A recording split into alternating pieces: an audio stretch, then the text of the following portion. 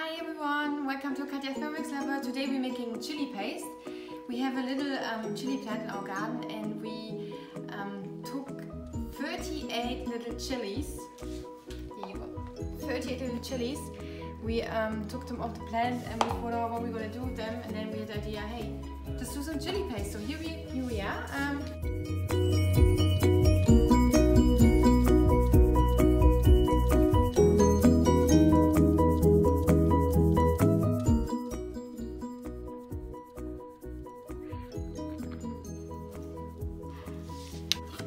Let's have a look.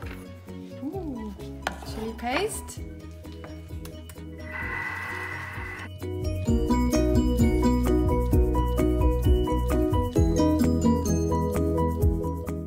So here it is, my fresh chili paste. Thank you very much for watching and hope to see you in the next video. If you like it, give it a thumbs up. Bye!